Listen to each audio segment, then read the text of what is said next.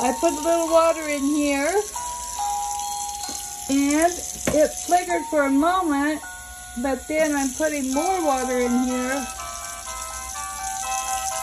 to see what happens. I'm not sure how much water should be in this. But it's not bouncing around, but maybe it takes a while to bounce around.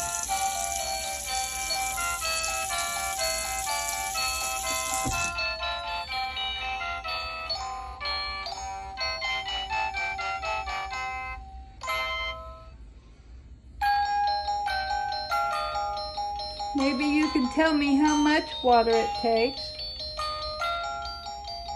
A little concerned about the water touching the mechanisms of electric electricity because I don't know what I'm doing. But look, I see it moving. No.